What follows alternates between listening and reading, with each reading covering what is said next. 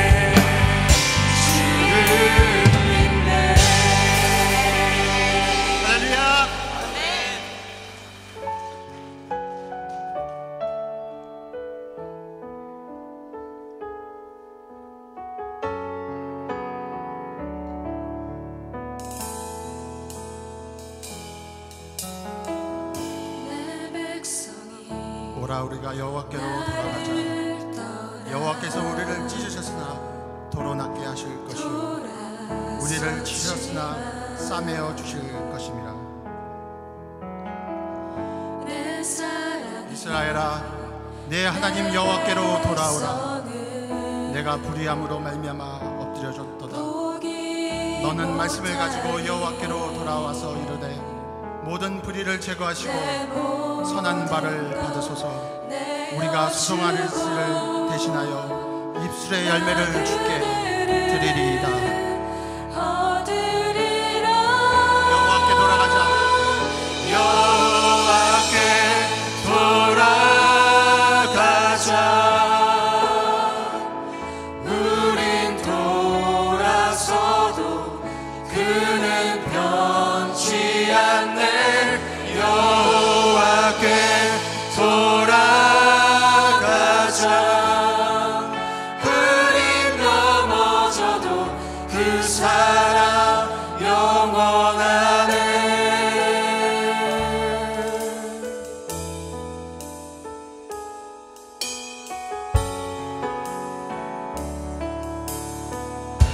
내 백성이 나를 떠나.